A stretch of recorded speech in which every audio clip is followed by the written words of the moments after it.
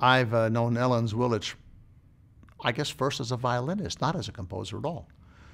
When I was 18 and she was probably a similar age, we both played in the American Symphony together with Leopold Stokowski. In fact, Ellen was a wonderful violinist, and I got to know her quite well. We were very close friends. She actually produced one of the last recordings I ever made as a trumpet player. She wrote a trumpet quartet that I, when I was teaching at Juilliard, I had some of my students play. And I premiered a lot of pieces of hers over the years, and she's remained a dear friend all these years. So clearly, when I was interested in asking composers I've known for a long time to write pieces for my last year's music director uh, uh, of the Seattle Symphony, I asked Ellen. The piece I wrote called Avanti is taken from a larger piece of mine called Fanfare, Reminiscence, and Celebration. And that piece actually has 18 offstage brass players. So I um, compressed the score a bit and I added a little bit of this and that to the um, fanfare movement. And I thought Avanti was really a good um, name for a piece for Jerry because Jerry will be jumping into the next thing with, with both feet, you know. Avanti. Move on. Move on to the next chapter. Let's get going. And uh, that's how well she knows me.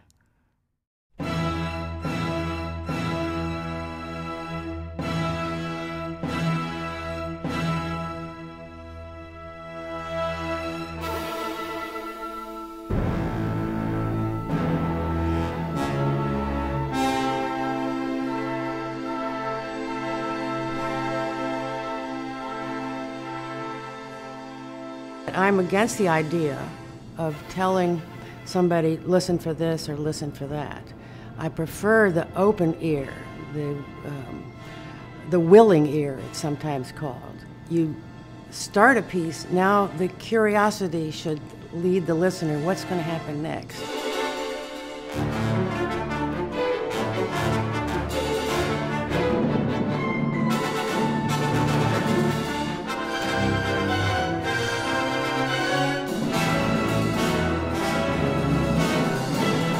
I'm writing a piece for orchestra, um, I always have a full score in front of me.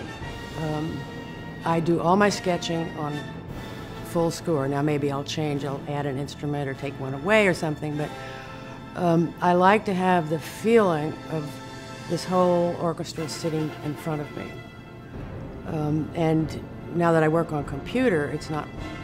Um, I still I still do it that way exactly. All my sketches are on the full score.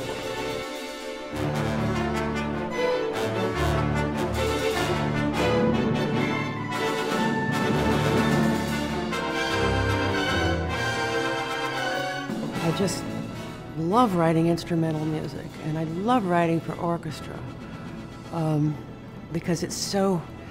I mean, I always say the orchestra is like a jellyfish. It's not a single organism. It's a collection of organisms that sort of magically work together and just the beauty of the way the the jellyfish moves and when you think about it it's not one thing but it it registers as one thing and that's that marvelous moment where everything sort of gels and um, the orchestra becomes one giant thing larger than you know the sum of the parts